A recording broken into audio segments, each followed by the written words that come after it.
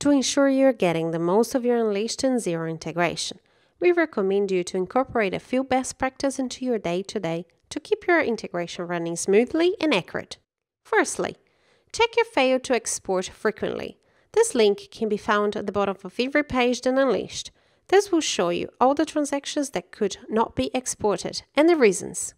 The most common reasons are things like tax rates not mapped or the customer has been archived or merged in Xero. These are errors that will need to be resolved and then re-exported from this page. This can be done by either selecting Export on the specific transaction or Export All. If you cannot find any errors, this transaction can be safely re-exported via this page. If you're having trouble finding or resolving this problem, please contact our support team. If the transaction is not listed in Fail Exports, please go to Integration Store, Xero Export Xero Data. From here, select the date range you're looking for.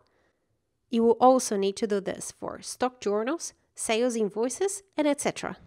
From here, select Reconcile.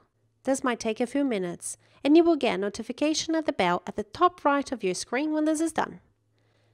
Once you have this notification, you will need to refresh the page. Navigate back to the right tab and correct date span. Please note that you can only do one month at a time.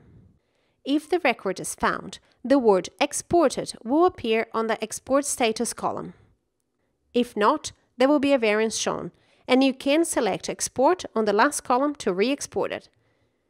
If you require, you can click on the Xero link, and this will take you straight to the transaction in Xero. As Unleashed is constantly sending journals and purchases to Xero, you should check if the stock on hand inquiry in Unleashed matches with the current stock on hand account in Xero. It will be much easier for you to pinpoint when the records stop matching if you do it often. Thanks for watching.